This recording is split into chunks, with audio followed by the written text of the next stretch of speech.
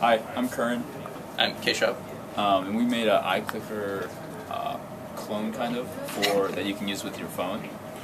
So the, mo- the motivation here is that people forget their iClicker, but they never forget their phone. Yeah, people always have their phone on them. The iClicker always gets left at, in their room, and they have to run back home or just not vote for anything. Okay, and so what did you do here? So here we built a web-enabled iClicker compatible essentially device. So this allows anybody to log in via the web and vote on the existing iClicker system just through their phone.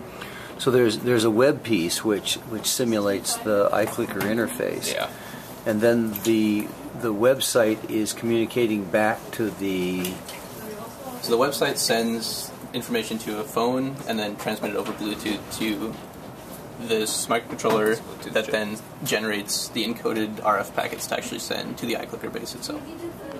aha. Okay. So so there's an app that runs on the phone. yeah, we can show that. That's later. okay.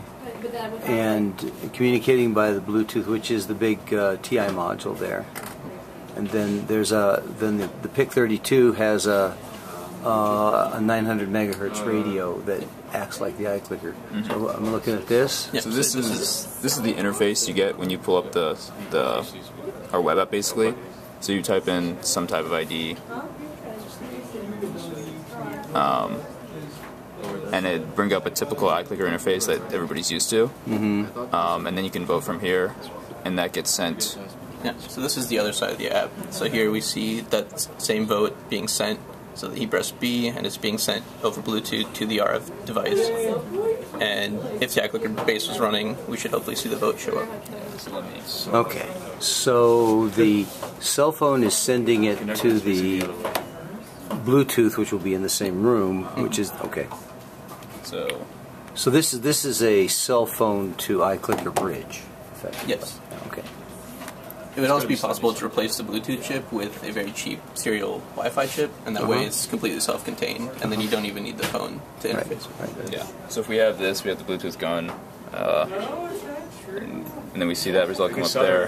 Okay. We can change it to C, do that, and then if we were interface, we choose a different ID here, and we chose say B, it'll pop up there, Uh huh. and then you can also use regular Traditional iClickers at the same time, and that'll also get registered, and we can Okay. Mm-hmm. so yeah. Cool. So you have complete interoperability.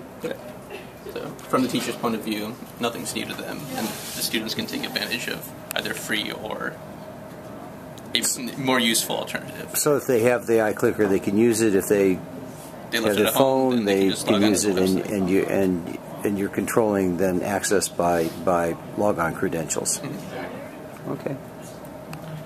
Very cool.